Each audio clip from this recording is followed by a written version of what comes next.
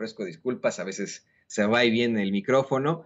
Eh, le hablábamos hace unos momentos de cómo el presidente López Obrador se manchó con los dirigentes de los partidos de oposición. Eh, dijo así abiertamente en la conferencia de prensa mañanera, pues que son los achichincles de Claudio X González, tanto Alito Moreno como Marco Cortés y el muy chucho de Jesús Zambrano. Así lo dijo, así abiertamente dijo que son sus achichincles. Bueno, eh, este señor, Alito Moreno, quien para muchos es considerado el hombre más cínico de México, eh, tiene una serie de acusaciones formales en su contra, en Campeche, en varias situaciones. Usted lo ha visto, ha sido exhibido mediante una serie de audios que ha planteado la gobernadora de ese estado, Laida Sansores, eh, sobre pues precisamente ¿no? las irregularidades en las que ha incurrido, las amenazas, eh, la bravuconería del tipo.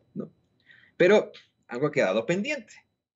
Desde el principio de eh, que dieron a conocer estas declaraciones, estas revelaciones, se habló de que pues iban a buscar desaforarlo. Y muchos nos preguntamos, bueno, ¿qué chingados pasa con el desafuero de Alito Moreno?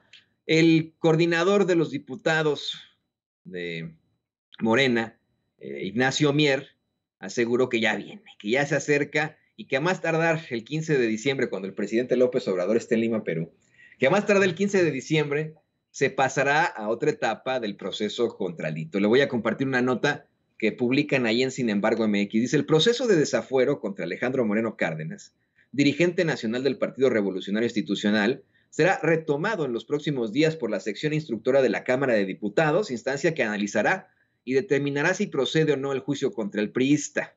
Ignacio Mier Velasco, coordinador de Morena en la Cámara de Diputados, anunció que a más tardar el 15 de diciembre, las y los integrantes de la sección instructora deberán solicitar pasar a la siguiente etapa. Las declaraciones de procedencia o desafuero, como lo conoce la gente, es en realidad un proceso con características jurisdiccionales que tienen tiempos, y uno de los tiempos de las etapas del proceso es que a más tardar el 15 de diciembre, las integrantes y los integrantes de la sección instructora deberán solicitar pasar a la siguiente etapa, detalló el morenista frente a medios de comunicación. Así es, aquí haciendo el paréntesis, más bien ya para darle eh, para concluir esta nota, le quiero decir a usted que en efecto no se llama de ninguna forma desafuero, ¿no?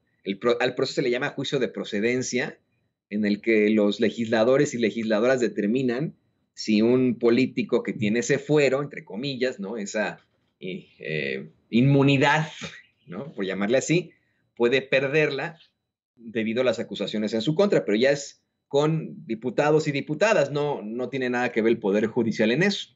Si ocurre el desafuero o el juicio de procedencia se, se confirma, pues se permite ya obviamente al Poder Judicial intervenir en esto.